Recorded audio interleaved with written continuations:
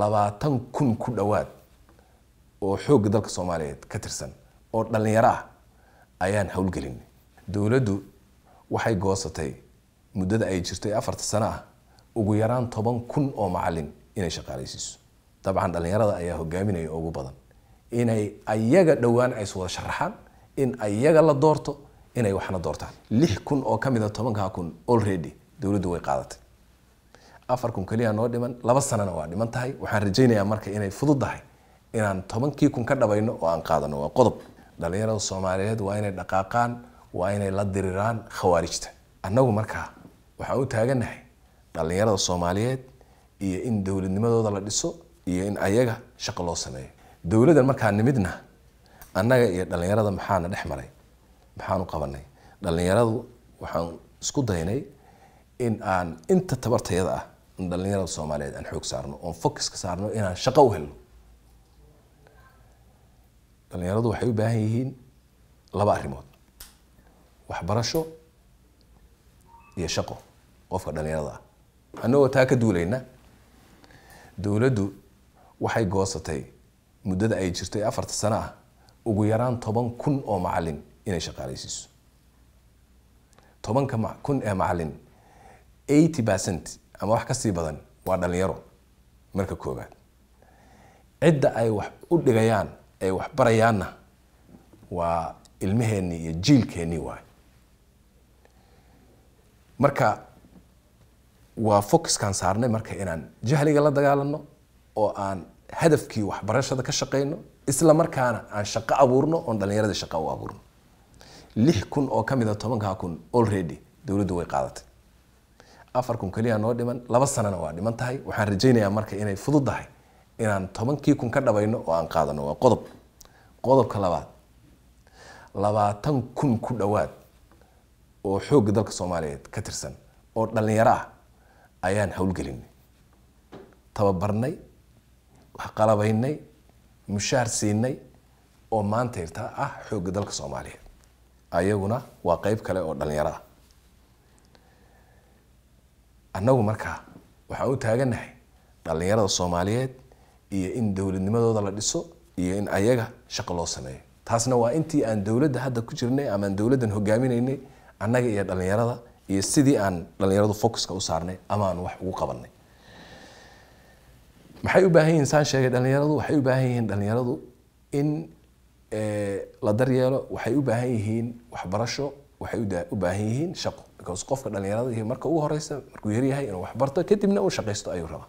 Suu naftiisa iyo ahalkiisaba u anfaco waan sheegay meeshaan ka soo bilownay iyo saan u soconno iyo qorshahanaga oo ku aadan dhallinyarada hadday noqoto waxbarasho iyo hadday noqoto shaqo abuur. Waxaan abuurnay program la yidhahdo transformation oo n t b wasaaradda qorsheyntu hadda hogaaminayso oo aan rajeynayna shanta sane soo socota soomaaliya dowladda soomaaliyeed oo kaashanaysa ganacsatada soomaaliyeed iyo businesska soomaaliyeed ayaa waxaan rajeynaynaa insha allahu tacaala inaan kumanaan soomaaliya in ay shaqo helaan annaga oo ka duulayna inaan cunaqabatayntii dalkan laga qaaday kadibna dalkan la maalgashanayo oo la maalgashan rabo. Annagoo taas ka duulayna waxaan rabnaa sidii hore si ka duwan dowladdu inay u shaqayso oo ay privateka iyo publica aan soo wada saarno mashaariic aan ku heshiino ay hogaaminayaan privateku dowladda soomaaliyeedna ay qorshihii ay dejinayso una adduunkana ay u yeerayso iyo iyo ganacsatada dunida iyo dowladahaba soomaaliya in la maalgashado si boqolaal iyo kumanaan soomaali ah oo dhalinyaro ay shaqo u helaan.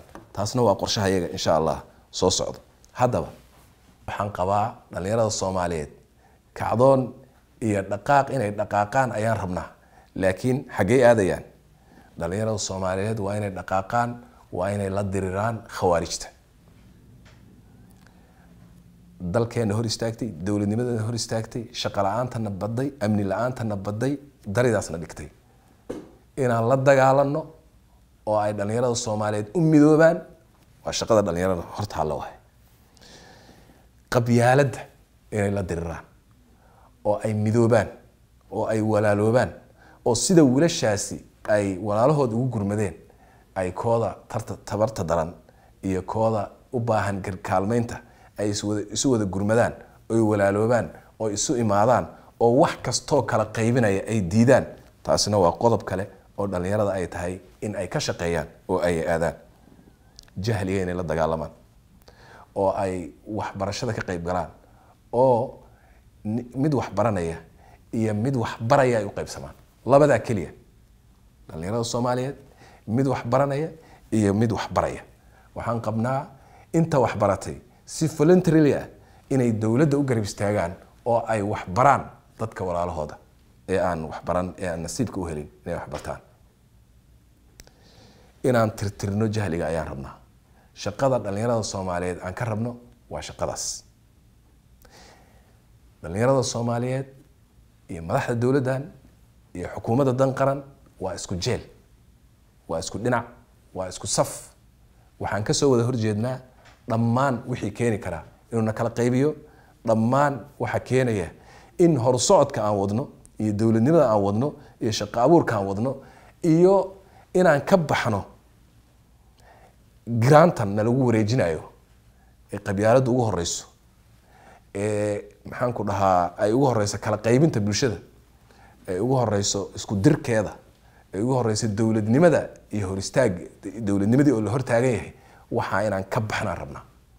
Qodobka igu dambeeya ay dowladdu ka shaqeynaysa waxaa weeye dhallinyaradu waa boqol kiiba toddobaatan bulshadan ayaa la yidhaha waa dadka mustaqbalka madaxda ah waa dadka la rabo inay madax noqdaan madaxdoodana ay doortaan. Dowladdu waxay soo saartay oy go'aamisay oy ka shaqeynaysaa awoodda siyaasadeed in lagu celiya dhallinyarada iyo shacabka soomaaliyeed. Dabcan dhallinyarada ayaa hogaaminaya ugu badan inay ayaga dhowaan ay iswada sharaxaan in ayaga la doorto inay waxna doortaan. In aan loo talin ayagu taliyaan. Ayaan ayaan ka shaqeynaynaa waxaan ugu yeeraya aan ugu baaqayaa dhammaan dhallinyarada soomaaliyeed inay ku garab istaagaan dowladda in ay arintaas hirgasho. Oo ay ugu horeyso gobolka banaadir dhallinyarada gobolka banaadir in ay gaarto in ay meeyarkooda ayagu doortaan oo aan loo magacaabin. In ay guddoomiyahooda degmada ayagu doortaan oo aan loo magacaabin. In ay qof kasta oo xukumaya ayaga doortaan ee aan loo soo qorin. Kuwa dowlad goboleedyada iyo kuwa caasimadda. Intaba waxaan ugu baaqaynaa nidaamkii haraaga ahaa ee dhibka badan ee aan ku soo jirnay muddada dheer ee ina dhaxal siiyey in dhaliilo badan soo baxaan in laga gudbo si dowladeennu ay dhidibada ugu aasanto in ay dadkeennu si xora inay ku doortaan madaxdooda. Waa midaan ka shaqaynayno waa midaan u taagannahay waa midda ay xukuumaddu ay taagan tahay.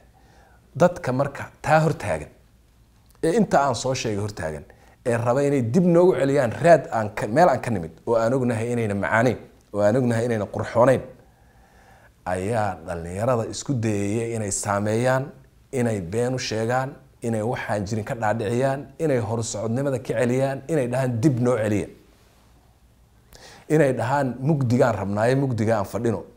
Oo dhallinyaradu markii ay nuurka arkaan ay dhahaan nuurkaan aadayn dhahaan maya ma aadayna halkan fadhinayna. Waxaan leenahay dhammaanteen innagoo midaysan yeeli mayna nuurkaan rabnaa horaanu soconaynaa dowladnimadaan rabnaa. Waa mahadsantihiin asalaamu calaykum waraxmat ullahi wabarakaatu